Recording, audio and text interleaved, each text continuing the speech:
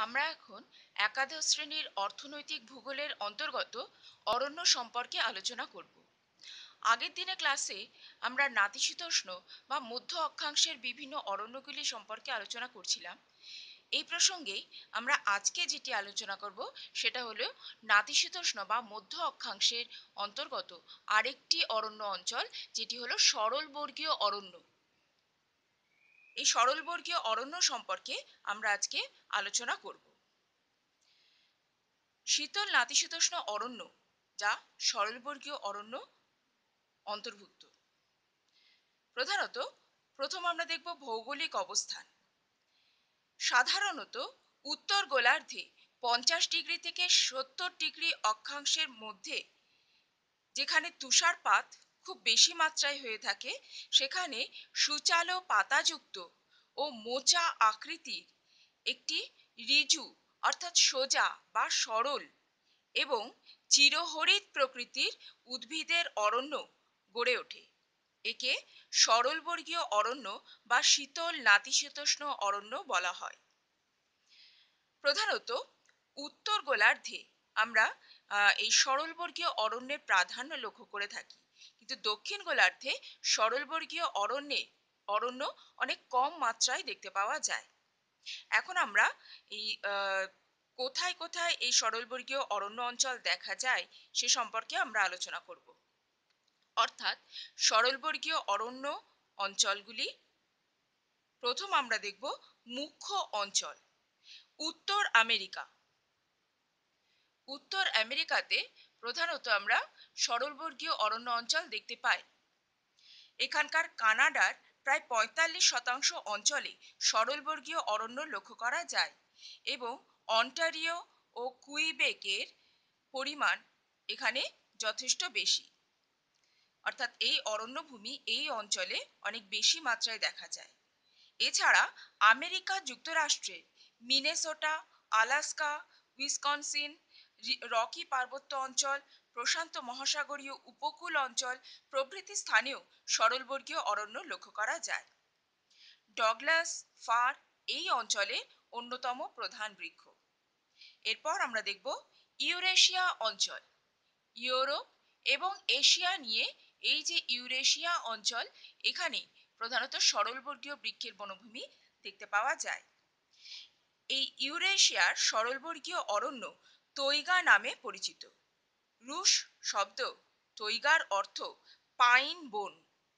পৃথিবীর বৃহত্তম সরলবর্গীয় অরণ্য হল সাইবেরিয়ার এই তৈগা অঞ্চল। পশ্চিমে আটলান্টিক উপকূল থেকে পূর্ব দিকে প্রশান্ত মহাসাগরের উপকূলবর্তী অঞ্চল পর্যন্ত, অর্থাৎ সুইডেন, নরওয়ে, জার্মানি, ফ্রান্স ও রাশিয়ার মধ্যে দিয়ে এই অরণ্য বিস্তৃত হয়েছে। এরপর আমরা দেখব গৌণ অঞ্চলগুলি সম্পর্কে। এশিয়া, ভারতের হিমালয় পার্বত্য অঞ্চল,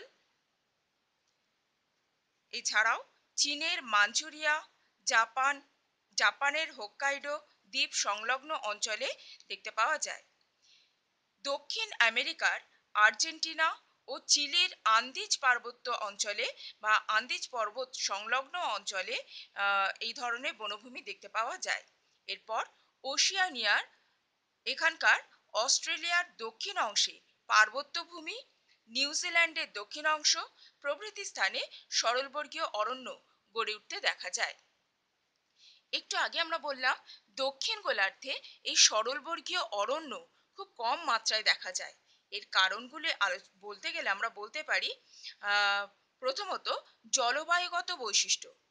অর্থাৎ এই গোলার্ধে, দক্ষিণ গোলার্ধে জলবায়ু মৃদু নাতিশীতোষ্ণ প্রকৃতি এবং শীতের মাত্রা যথেষ্ট কম হওয়ায় সরলবর্গীয় উদ্ভিদ এখানে বেশি জন্মায় না। দ্বিতীয়ত, জলভাগের প্রাচুর্য। অর্থাৎ দক্ষিণ গোলার্ধে জলভাগের আয়তন তুলনামূলক বেশি হওয়ায় সরলবর্গীয় অরণ্যের বিস্তার এখানে অনেকটাই কম। তৃতীয়ত, উচ্চ পর্বতের অভাব। দক্ষিণ গোলার্ধে দক্ষিণ আল্পস, কিলিমাঞ্জারো ও আন্দিজ ছাড়া উঁচু পর্বতের সংখ্যা কম থাকায় সরলবর্গীয় অরণ্যের বিস্তার এখানে অনেক কম। তবে অস্ট্রেলিয়া ও নিউজিল্যান্ডের দক্ষিণ প্রান্তে সামান্য পরিমাণে এই অরণ্যের উপস্থিতি দেখতে পাওয়া যায়।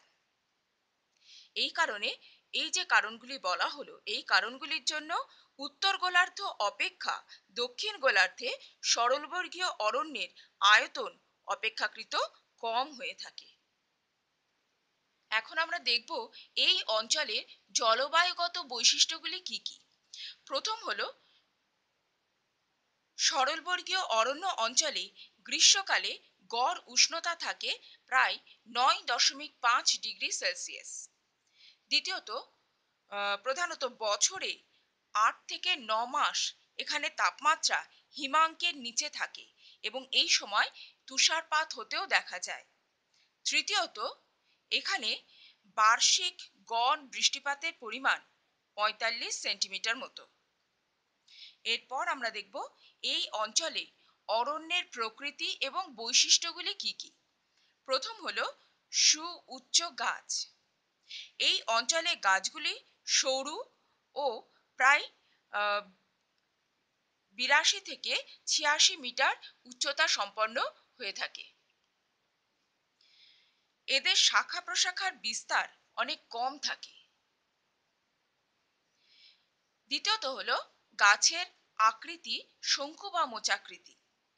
সরলবর্গীয় অরণ্যের গাছগুলো সাধারণত মোচা বা শঙ্কু আকৃতি বিশিষ্ট হওয়ায় তুষারপাত এই গাছের ওপর জমতে পারে না। যখনই তুষারপাত হয়, এই তুষার বা বরফ সহজেই নিচে ঝরে ঝরে পড়ে। তৃতীয়ত হলো নরম প্রকৃতির কাঠ। সরলবর্গীয় গাছের কাঠগুলো অত্যন্ত নরম প্রকৃতির হওয়ায় এই অরণ্যকে নরম কাঠের অরণ্য বলা হয়ে থাকে। এরপর আমরা দেখব পাতার বৈশিষ্ট্য। সরলবর্গীয় গাছের পাতা যাতে বরফ জমতে না পারে, সেই কারণে পাতাগুলো অত্যন্ত সুচল প্রকৃতির হয়ে থাকে।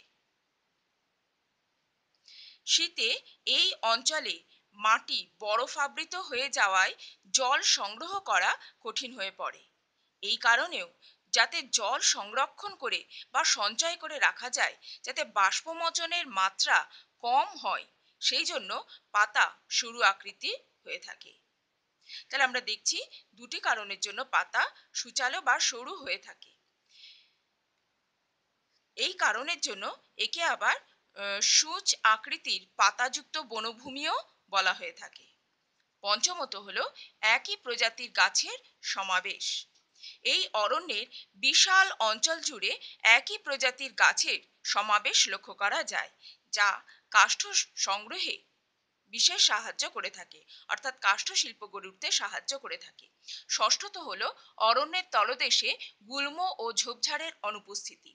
এই অরণ্যের তলদেশে গুল্ম ও ঝোপঝাড়ের উপস্থিতি লক্ষ্য করা যায় না। এখানে আমরা দেখতে পাচ্ছি যে ঝোপঝাড় তেমনভাবে দেখতে পাওয়া যাচ্ছে না। কারণ ভূমিভাগ বছরের অধিকাংশ সময় বরফাবৃত থাকে। তাই খুব সহজে অরণ্যের ভিতরে প্রবেশ করা যায়।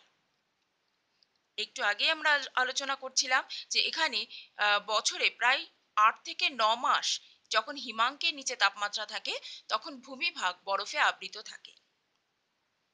এখানকার গুরুত্বপূর্ণ বৃক্ষগুলি সম্পর্কে আমরা এখন দেখব। সরলবর্গীয় বৃক্ষগুলির মধ্যে অন্যতম হল পাইন ও ফার। এছাড়াও লার্চ স্প্রুস প্রভৃতি গাছও এই অঞ্চলে লক্ষ্য করা যায়। পাইন ও ফারের বিভিন্ন প্রজাতিগুলির মধ্যে অন্যতম হল দেওদার পাইন, বামন পাইন চিরো পাইন ছুচালো পাইন এবং ডগলাস ফার, রূপালি ফার প্রভৃতি। এরপর আমরা দেখব প্রধান ব্যবহারগুলি কি কি। এই অরণ্যের ব্যবহার প্রসঙ্গে আমরা প্রথম দেখব বাণিজ্যিক গুরুত্ব সম্পর্কে।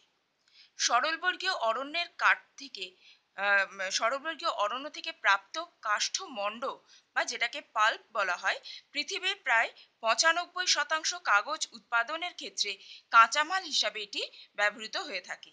এই অরণ্যের কাষ্ঠমণ্ডকে ব্যবহার করে কানাডা ও আমেরিকা যুক্তরাষ্ট্র পৃথিবীর মোট কাগজ উৎপাদনের প্রায় বাষট্টি শতাংশ উৎপাদন করে থাকে। দ্বিতীয়ত আমরা দেখছি, প্রায় পঞ্চান্ন শতাংশ কড়ি কাঠ এবং প্রায় সত্তর শতাংশ তক্তা এই অরণ্য থেকেই পাওয়া যায়। তৃতীয়ত, পৃথিবীর প্রায় ছত্রিশ শতাংশ স্থান জুড়ে এই অরণ্যভূমি অবস্থান করছে। এই অরণ্যের পাইন গাছের নির্যাস থেকে উৎপন্ন হয় তারপিন তেল, যা বার্নিশ উৎপাদনের ক্ষেত্রে ব্যবহার করা হয়ে থাকে। চতুর্থত, পৃথিবীতে উৎপাদিত প্রায় পঁচাশি শতাংশ কাঠ ও কাঠজাত দ্রব্য সরলবর্গীয় অরণ্য থেকে পাওয়া যায়। এখানে আমরা দ্বিতীয় যেটি দেখছি সেটা হচ্ছে কাগজ শিল্পের কাঁচামাল হিসাবে ব্যবহার। বিভিন্ন প্রকার সরলবর্গীয় গাছের নরম কাঠ থেকে প্রস্তুত কাষ্ঠমণ্ড কাগজ শিল্পের প্রধান কাঁচামাল হিসাবে ব্যবহৃত হয়ে থাকে। তৃতীয়ত হল নির্মাণ ক্ষেত্রে ব্যবহার। সরলবর্গীয় অরণ্যের কাঠ, জাহাজ, নৌকা, যানবাহন, বাড়ি, আসবাবপত্র, খেলার জিনিস তৈরি প্রভৃতি কাজে বা প্রভৃতি তৈরিতে ব্যবহৃত হয়ে থাকে। চতুর্থত হল বোর্ড তৈরি। এই অঞ্চলের কাঠ থেকে কাষ্ঠমণ্ডের সাহায্যে পার্টিশন বোর্ড, ফাইবার বোর্ড প্রভৃতি তৈরি করা হয়ে থাকে। পঞ্চমত সেলুলোজ প্রস্তুত হয়। সরলবর্গীয় বৃক্ষ থেকে যে সেলুলোজ উৎপন্ন করা হয়, তা থেকে রাসায়নিক উপায়ে কৃত্রিম তন্তু বা রেয়ন প্রস্তুত করা হয়।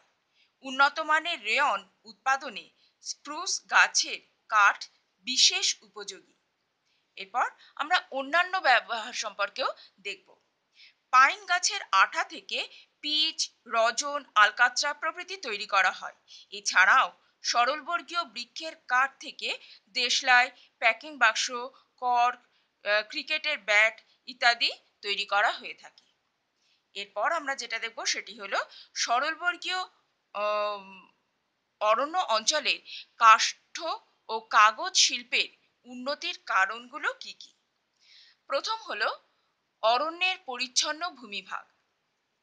সরলবর্গীয় অরণ্যের তলদেশে ঝোপঝাড় লতাগুল্মের উপস্থিতি থাকে না বলে, অর্থাৎ এগুলি অনুপস্থিত থাকে বলে খুব সহজেই অরণ্যের ভিতরে প্রবেশ করে কাঠ সংগ্রহ করা সুবিধা হয়ে থাকে।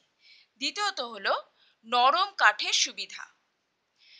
এই অরণ্যের গাছের কাঠগুলি নরম হওয়ায় খুব সহজেই গাছ কাটা বা কাঠ কাটা সহজ হয়ে থাকে, যার ফলে কাঠ সংগ্রহ করাও এগুলোকে কেটে সংগ্রহ করা সুবিধাজনক হয়ে থাকে এবং সম্ভবপর হয়। তারপর আমরা দেখব একই প্রজাতির গাছের সমাবেশ। এই অরণ্যে এক একটি স্থানে এক একটি নির্দিষ্ট প্রজাতির গাছের সমাবেশ লক্ষ্য করা যায়। ফলে এই অরণ্যে কাঠ সংগ্রহ করতে বিশেষ সুবিধা হয়ে থাকে, যা এখানকার কাষ্ঠ শিল্প বিকাশে সাহায্য করে থাকে। এরপর আমরা দেখব বরফাবৃত ভূমিভাগ। ভূমিভাগ বরফাবৃত থাকে অধিকাংশ সময়।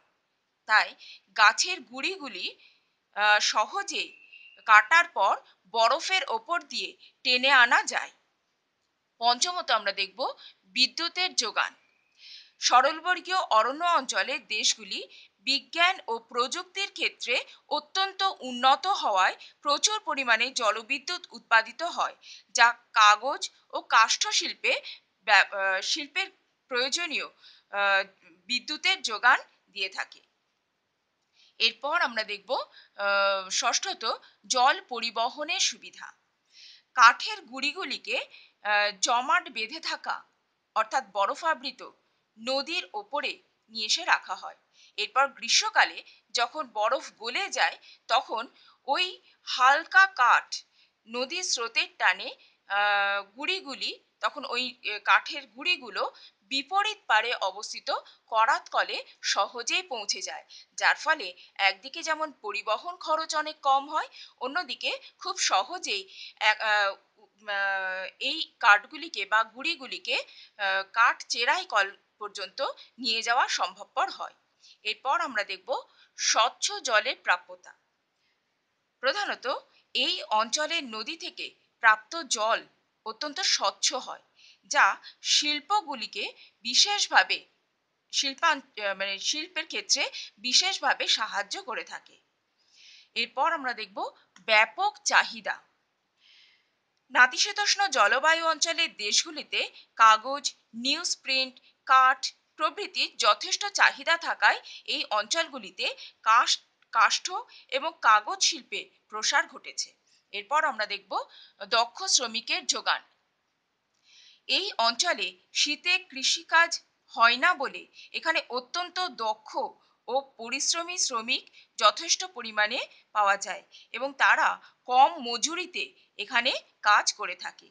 কারণ অধিকাংশ সময় ভূমিভাগ বরফাবৃত থাকায় এখানে কৃষিকাজ তেমনভাবে তারা করতে পারে না। এরপর আমরা দেখব অর্থনৈতিক ও কারিগরি সাহায্য। নাতিশীতোষ্ণ অঞ্চলের দেশগুলি অর্থনৈতিক ও কারিগরি দিক থেকে অত্যন্ত সমৃদ্ধ হওয়ায় এই দেশগুলিতে কাগজ ও কাষ্ঠ শিল্প বিশেষভাবে উন্নতি লাভ করেছে। সবশেষে আমরা দেখব রাসায়নিক পদার্থের যোগান। কাগজ শিল্পে প্রয়োজনীয় রাসায়নিক পদার্থের সুলভ যোগান এই অঞ্চল থেকে পাওয়া যায়।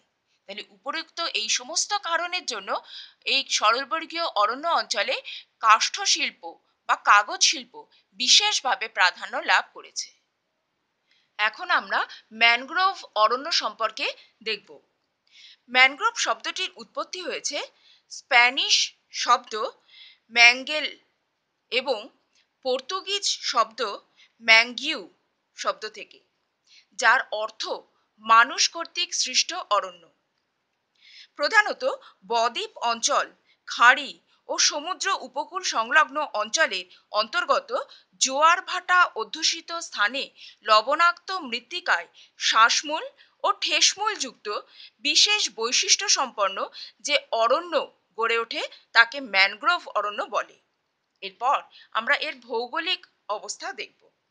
অক্ষাংশ গত দিক থেকে আমরা দেখি, উভয় গোলার্ধের নিরক্ষরেখা থেকে পঁচিশ ডিগ্রি উত্তর অক্ষাংশ বরাবর, আবার কোথাও পঁয়তাল্লিশ ডিগ্রি অক্ষাংশের মধ্যবর্তী স্থানে, বিশেষত ক্রান্তীয় ও উপক্রান্তীয় দেশগুলির বদ্বীপ ও সমুদ্র সংলগ্ন স্থানে, যেখানে জোয়ার ভাটার প্রকোপ বেশি, সেখানে ম্যানগ্রোভ অরণ্য লক্ষ্য করা যায়।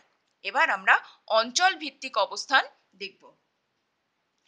প্রথমত হলো এশিয়া।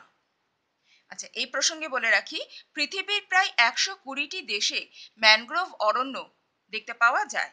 পৃথিবীর বিভিন্ন মহাদেশে ম্যানগ্রোভ অরণ্যের শতকরা বন্টন সম্পর্কে আমরা একটু আলোচনা করব। যেমন এশিয়া, ভারতের সুন্দরবন পিছাভরম ভিতরকণিকা কচ্ছ অঞ্চল, আন্দামান নিকোবর দ্বীপপুঞ্জ, যেটি পৃথিবীর প্রথম ও দ্বিতীয় বৃহত্তম ম্যানগ্রোভ অরণ্য। এটি। যেটি পশ্চিমবঙ্গের সুন্দরবন ও তামিলনাড়ুর পিছাভরম আচ্ছা এছাড়াও ভিয়েতনামে U Minh Can Gio, Bac Lieu, তারপরে হচ্ছে ইন্দোনেশিয়ার বার্নিও, সুমাত্রা, তাইওয়ানের ঝাংগাং নদী তামসুই নদী ইত্যাদি জলাভূমি সংলগ্ন অঞ্চলে এই বনভূমি দেখা যায়। এছাড়াও পাকিস্তানে বালুচিস্তান ও সিন্ধু প্রদেশেও দেখা যায়। আফ্রিকা। আফ্রিকার তানজিয়া তানজানিয়া, কেনিয়া, মাদাগাস্কার, নাইজেরিয়া বিশেষ করে নাইজেরিয়া নদী বদ্বীপ অঞ্চলে দেখতে পাওয়া যায়। এটি আফ্রিকার বৃহত্তম ম্যানগ্রোভ অরণ্য অঞ্চল। এরপর আমরা দেখব উত্তর ও মধ্য আমেরিকা।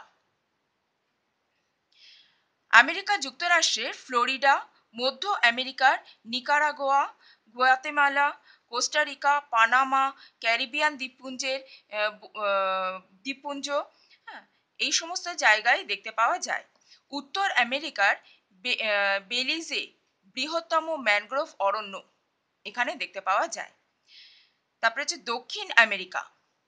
দক্ষিণ আমেরিকার প্রধানত ব্রাজিলের গুইয়াস, সান্টা এলানা ইত্যাদি জায়গায় দেখা যায়। এছাড়া ওশিয়ানিয়া, অস্ট্রেলিয়ার উত্তর পূর্ব ও পশ্চিম উপকূলের প্রধানত অ্যাডিলেড এর বার্কার, ইনলেট, নিউ গিনি, দ্বীপপুঞ্জ নিউজিল্যান্ডের ওহিওয়া বন্দর র্যাগলান বন্দর প্রভৃতি অঞ্চলে এই অরণ্য গড়ে উঠতে দেখা যায়। এরপর আমরা দেখব এখানকার জলবায়ুগত বৈশিষ্ট্যগুলি সম্পর্কে। প্রথম ম্যানগ্রোভ অরণ্য অঞ্চলে উষ্ণ আর্দ্র প্রকৃতির জলবায়ু লক্ষ্য করা যায়। দ্বিতীয়ত, এই অরণ্যে বার্ষিক গড় উষ্ণতা প্রায় ২৬ ডিগ্রি সেলসিয়াস এবং এখানে সারা বছর সূর্যালোক পাওয়া যায়। এই তৃতীয়ত, এই অঞ্চলে বছরে বার্ষিক গড় বৃষ্টিপাতের পরিমাণ থাকে দুশো পনেরো থেকে দুশো পঁয়তাল্লিশ সেন্টিমিটার। চতুর্থত হল উষ্ণতার প্রসর। প্রধানত এখানে চার ডিগ্রি সেলসিয়াস মতন থাকে, প্রায় চার ডিগ্রি সেলসিয়াস।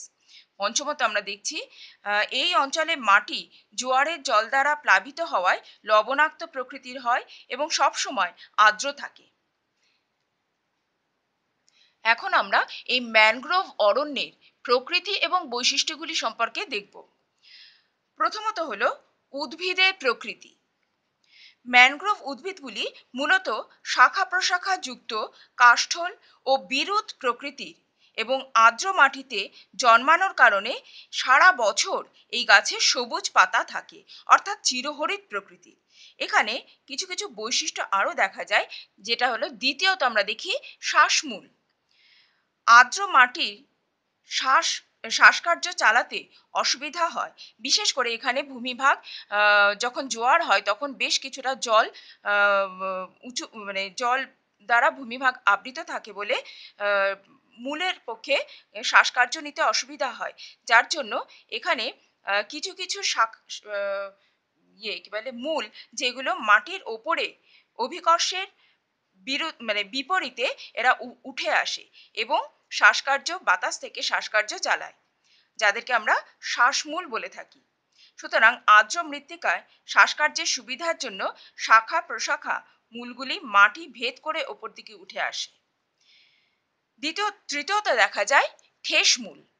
প্রধানত নরম কাদা মাটিতে গাছগুলো যাতে দৃঢ়ভাবে দাঁড়িয়ে থাকতে পারে, তার জন্য কাণ্ডের চারিদিক থেকে ঠেসমূল ও স্তম্ভমূলের সৃষ্টি হয়।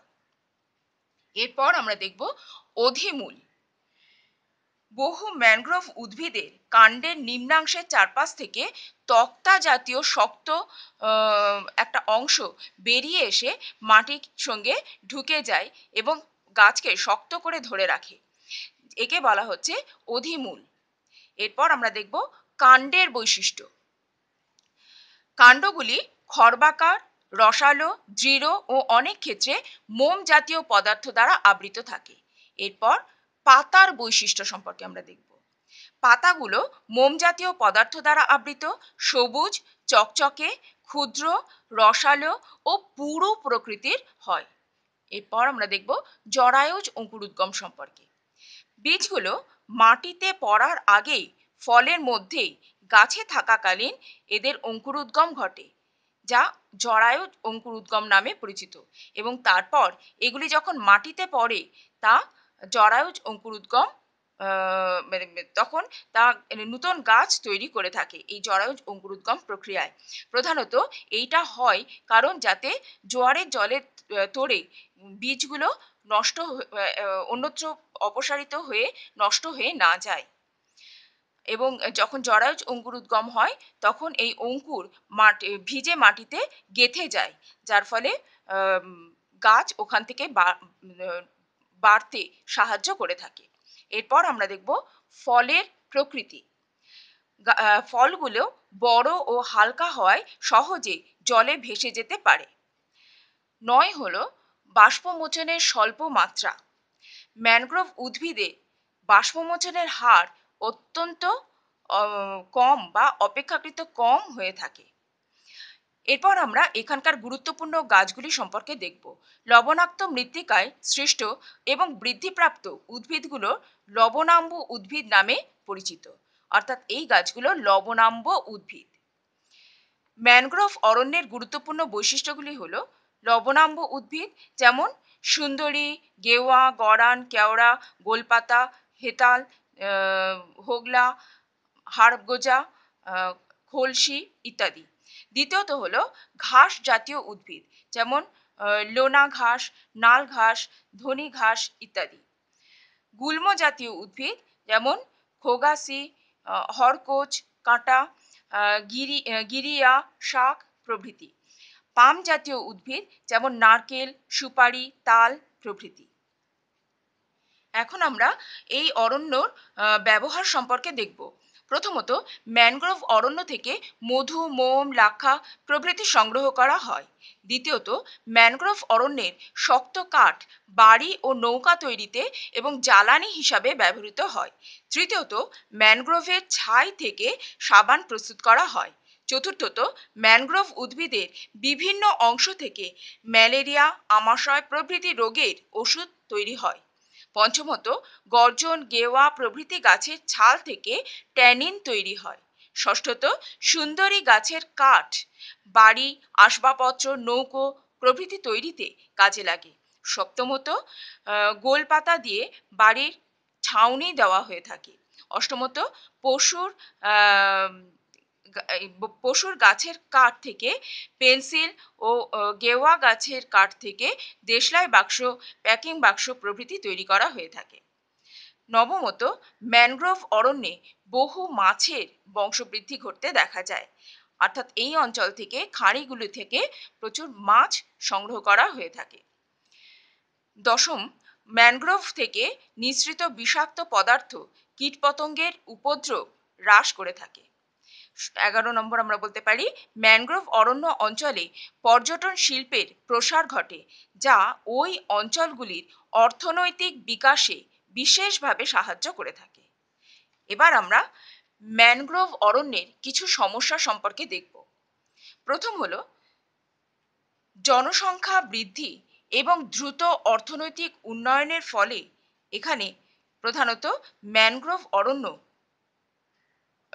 ক্রমশ ধ্বংসের পরিমাণ বৃদ্ধি পাচ্ছে। প্রধানত উনিশশো নব্বই থেকে দু হাজার পনেরো খ্রিস্টাব্দের মধ্যে প্রায় সাতাশ লক্ষ হেক্টর ম্যানগ্রোভ অরণ্য বিনাশপ্রাপ্ত হয়েছে। অর্থাৎ এই জনসংখ্যা বৃদ্ধি এবং দ্রুত অর্থনৈতিক উন্নয়নের ফলে ম্যানগ্রোভ অরণ্য অনেক ক্ষেত্রে ধ্বংসপ্রাপ্ত হয়ে গেছে। এরপর আমরা দেখব দ্বিতীয়ত জীব বৈচিত্র্য অনেকটাই হ্রাস পাচ্ছে। যেহেতু এই অরণ্যের আয়তন অনেকটা সংকুচিত হচ্ছে, যার ফলে এখানে জীব বৈচিত্র্য এবং পরিবেশ দূষণ ঘটছে, যার ফলে বা পরিবেশের অবনমন ঘটছে, তার ফলে জীব বৈচিত্র্য হ্রাসপ্রাপ্ত হচ্ছে। তৃতীয়ত আমরা দেখব সামগ্রিক বাস্তুতন্ত্র তথা পরিবেশের ভারসাম্য নষ্ট হচ্ছে। চতুর্থত আমরা দেখব, বিভিন্ন ধরনের প্রাকৃতিক দুর্যোগ ও বিপর্যয়, যেমন সাইক্লোন, সুনামি ইত্যাদির প্রাবল্য বৃদ্ধি পাচ্ছে। আজকে এতটাই। এরপরে আমরা অরণ্যের বাকি যে অংশ রয়েছে, সেই অংশগুলো সম্পর্কে আলোচনা করব।